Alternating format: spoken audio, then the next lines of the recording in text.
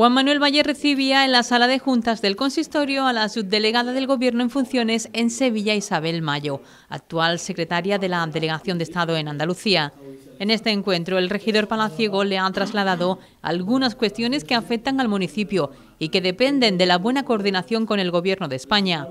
Además, esta jornada de trabajo ha servido para poner en valor los proyectos que a través del Plan de Fomento de Empleo Agrario se vienen desarrollando en los Palacios y Villafranca.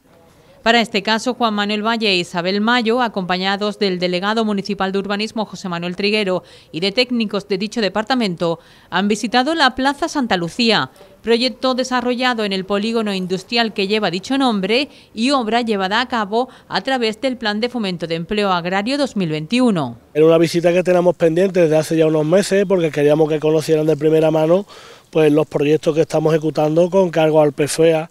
y este en concreto es eh, responde al proyecto del año 2021 que ya está finalizado, pero lo hemos enfocado en varias fases y una vez que se ha realizado todo el trabajo de dotación de alcantarillado, solería, sistema de riego, la reordenación de los parterres con la plantación de arboleda, pues ahora con carga otro proyecto del plan contigo, en este caso de Diputación, pues se procederá a culminar la plaza con el asfaltado, preparando las plazas también de aparcamiento. Hay otro proyecto con la dotación de alumbrado LED en la plaza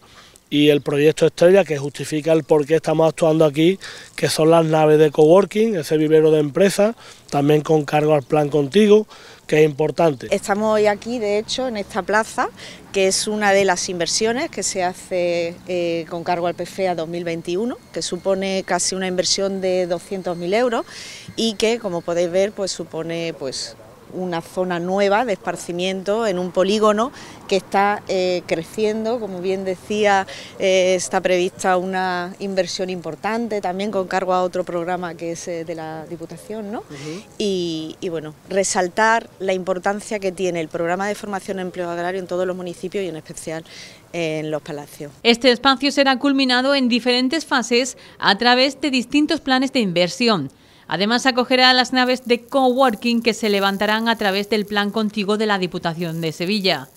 Es por ello que el alcalde Palaciego insistía en la importancia que tienen este tipo de inversiones públicas para el desarrollo social y económico de los pueblos, así como para mejorar la calidad de vida de los vecinos. Valle también destacaba que Los Palacios y Villafranca es el municipio de la provincia de Sevilla que recibe más fondos a través del Plan de Fomento de Empleo. Y queremos visitarlo con la subdelegada del Gobierno, pues porque el PFA son fondos que provienen principalmente del Estado, tiene una aportación pequeña de la Junta de Andalucía y también otra de, los ayuntamientos, pero son cargos que nos aprueba, un proyecto que nos aprueba todos los años el Gobierno de España y de hecho pues los Palacios Villafranca es el que goza de un mayor importe en proyectos PFE en la provincia de, Sevilla y suponen pues, eh, además de mejorar la calidad de vida de los palaciegos y palaciegas, con actuaciones diversas en un buen número de calles y en nuestras pedanías, buscando un desarrollo cohesionado del pueblo, pues generan en torno al millar de puestos de trabajo y también suponen un revulsivo para la dinamización de la economía local con empresas de maquinaria, de suministro, en fin, los que ganan los, los contratos para facilitarnos o bien servicios o bien materiales. En los últimos tres años eh, se han invertido tres millones y medio de euros con ese programa en obras como infraestructuras de mejora de acerado, eliminación de barreras, mejora del alumbrado, en suma, para lograr una mayor sostenibilidad, accesibilidad